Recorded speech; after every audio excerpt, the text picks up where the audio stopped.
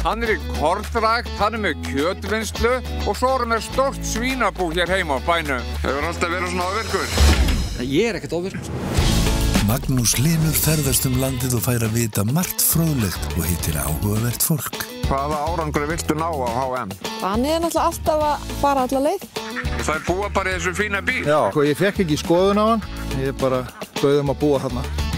Ég vakna aldrei á mótnar að hugsa eitthvað um hjólstólinn. Ég fer bara í hann og held áfram, skilur merkja sjá að kalla sig að vera fyndur.